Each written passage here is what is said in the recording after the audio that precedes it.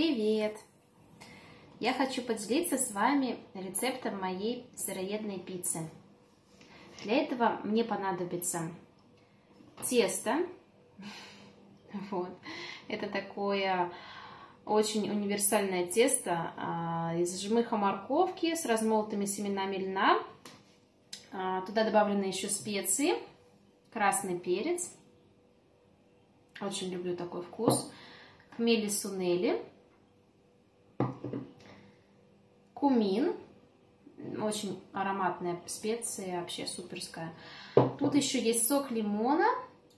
И я вот это вот все так пожамкала. А теперь буду выкладывать на такие листы дегидратора. Вот, будут такие пирожки. А сверху мы положим этот красивый помидорчик.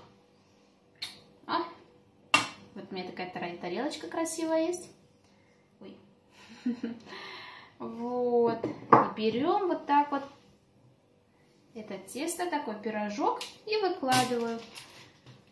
Ну, сантиметр, нет, ну, где-то пол сантиметра толщиной. Вот так вот приминаю. И тут главное, смотрите, если вы хотите не, ну, именно пиццу, то надо потолще сделать слой. Если хлебцы, то потоньше. Это очень сытное такое блюдо сыроедческое, обед, полноценный источник белка. В огне содержатся все незаменимые аминокислоты, абсолютно все. А, плюс это очень хорошо очищает наш кишечник и вообще способствует хорошему пищеварению.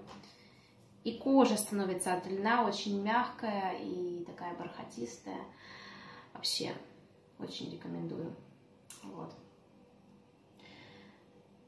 Вот так. А еще я вам советую сверху положить много красивой зелени. Например, руколу.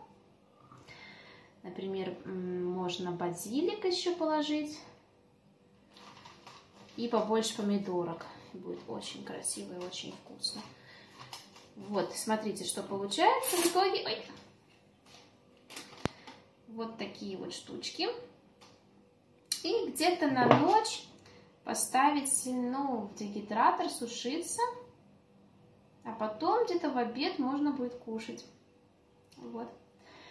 Желаю вам крепкого здоровья, любви. И до новых встреч. Подписывайтесь на канал. Ставьте лайки, пишите вопросы, комментарии. Люблю. Пока-пока.